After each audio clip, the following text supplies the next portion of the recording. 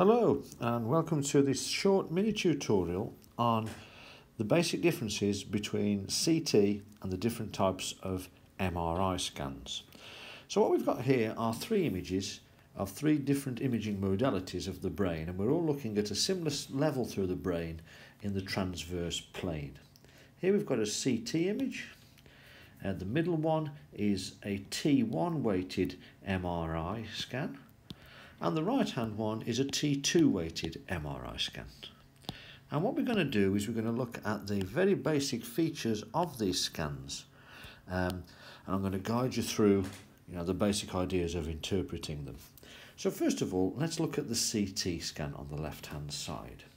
Um, as you can see, um, in comparison with the MRI scans, CT scans are relatively low resolution, so we really don't get a huge amount of anatomical detail when we're looking at the, uh, say, the deep structures of the brain or even the details of the gyri and sulci of the cerebral cortex.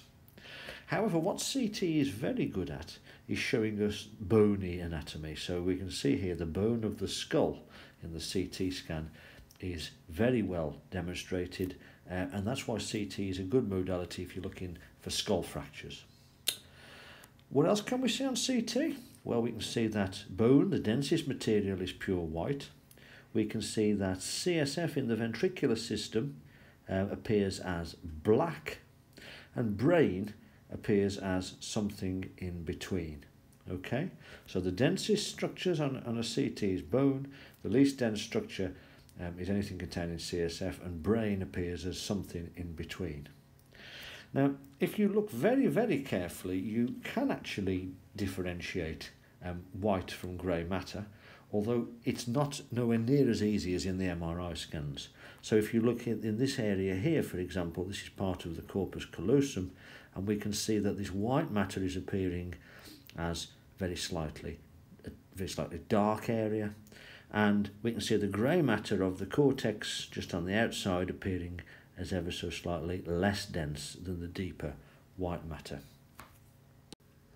Furthermore, you can see some very vague details of the deep cerebral nuclei, although um, that's not really shown up anywhere near as much detail as in the MRIs.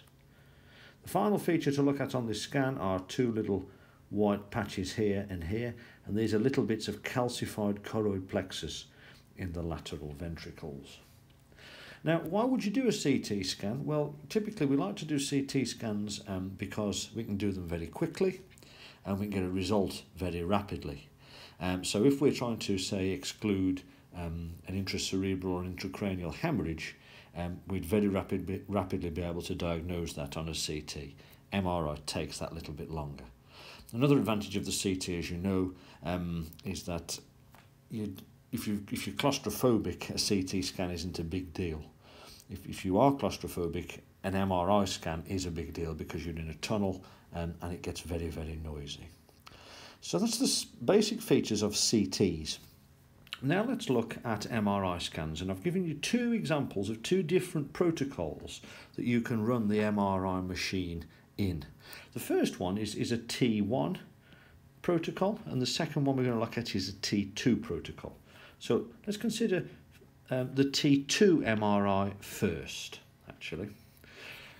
The reason we're considering the T2 MRI first is because it highlights a very specific type of substance within the brain, and that is water. Okay, and if you struggle to remember um, the difference between a T2 and a T1 MRI, what you need to remember is that T2 has a 2 in it, just like H2O. Okay, so T2 MRI is looking at H2O, and H2O water gives us a strong, bright white signal on T2 MRI. And you can see this on the image. So here is the ventricular system beautifully outlined in this T2 MRI image, as well as CSF going in through all of the sulci between the different gyri. So this T2 MRI really shows us exquisite detail by showing us where CSF can be found. And we can even see it as a thin film in the subarachnoid space all the way around the brain. So that's the main advantage of a T2 MRI over a T1 based MRI. If you look in the T1 based MRI, the CSF filled spaces appear very similar to how they appear on the CT scan. That is black with low signal. Now, the other obvious advantage of MRI, whether it's T1 or T2 over CT, is the much greater detail that we get in the MRI scans compared to in the CT scans. So you can see in the MRI scans, and we'll focus on this T2 weighted image, you can even see the detail between the different components of the basal ganglia here and you can see beautiful fine detail in the occipital lobe and also the white matter connecting the two frontal lobes. So we've got a lot of detail in these MRI scans. You are struggling to see this amount of detail on the relatively grainy CT scans, which can be performed much faster than an MRI. This increased sensitivity of MRI also helps us uh, in the early diagnosis of lesions such as strokes. Um, an early ischemic stroke where there is no bleeding would not show up very clearly at all on a CT scan. However, you would see it very obviously if you conducted an MRI on that same person. So that's all I'm going to say about CTs and MRIs at this stage. Um, you'll encounter more of these as the unit progresses. Okay, thanks.